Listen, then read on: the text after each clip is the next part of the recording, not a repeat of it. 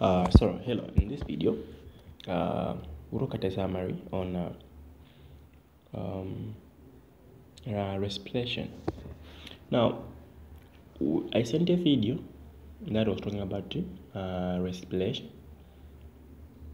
And i hope that you all viewed the video. So let's just look at a summary of respiration Now, we know that a, a, respiration is an internal process.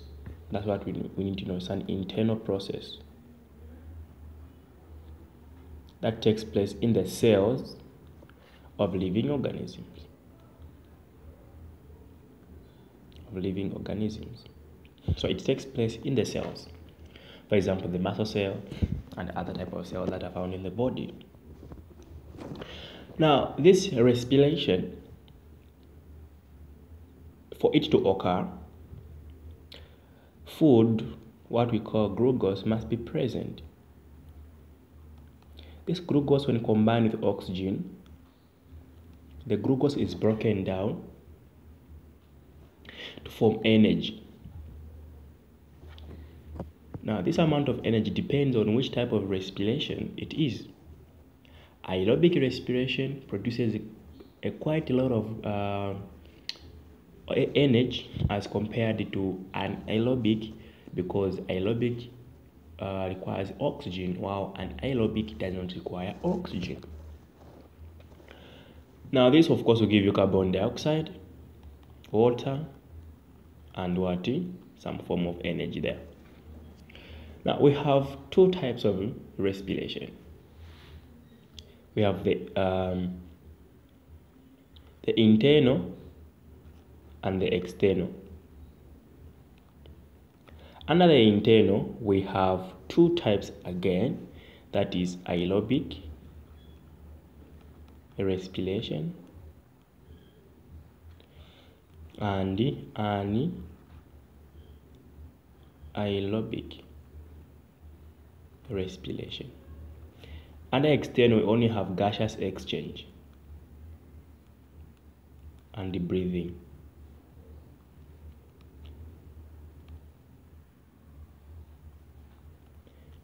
And our main focus is under internal respiration that has got aerobic and anaerobic. Now, when we talk of aerobic, we said this requires oxygen. Aerobic requires oxygen. That means it releases large amounts